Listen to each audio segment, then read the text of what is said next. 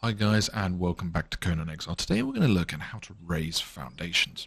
Now you're probably used to normal foundations, uh, let's quickly grab this one here, as you can see being about this height, fairly low in the ground, not much more you can do than that. But there is a little trick you can use to get it to go just a little bit higher.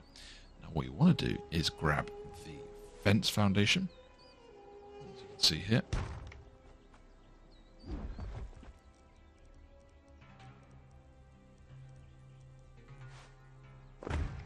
There we have it. And then from there, recreate the foundation on the next side. You can see it's actually a little bit higher this time round. Delete this. I did that by mistake. That's fine. I'll do it one more time just to show you. Fence. Foundation. And then you can remove this and you have a raised foundation. I hope this was helpful. Thank you so much for watching. And don't forget to like and subscribe.